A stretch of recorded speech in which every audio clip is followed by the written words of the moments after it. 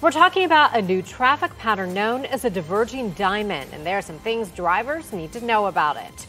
It's happening this weekend along Sand Lake Road, right near International Drive and I 4. News 6's Mark Lehman has been there all morning to show us how it works. How bad is it driving through this intersection? Uh, depending on the time of day, it's pretty awful. If you've ever driven on Sand Lake Road near I 4, you know the backups can be stressful and frustrating. It's definitely at least 20 minutes just to get through here.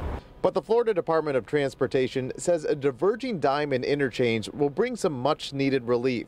Starting this weekend, drivers will be shifted to the left as they go underneath I 4 what that does is take away left turns across oncoming traffic, essentially doubling capacity through the intersection. I think it'll be fantastic. I mean, half the time it's because someone's pulled out and traffic stopped because there's cars there.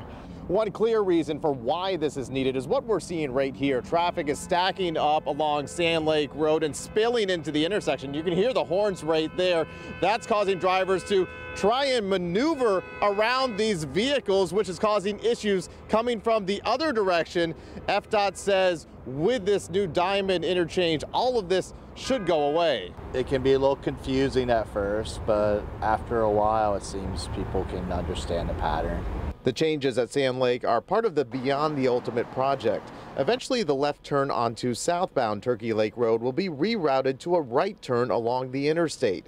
Express lanes will also be extended on I-4. While the diverging diamond begins this weekend, all of the work isn't expected to wrap up until 2027. Hopefully alleviate some stress.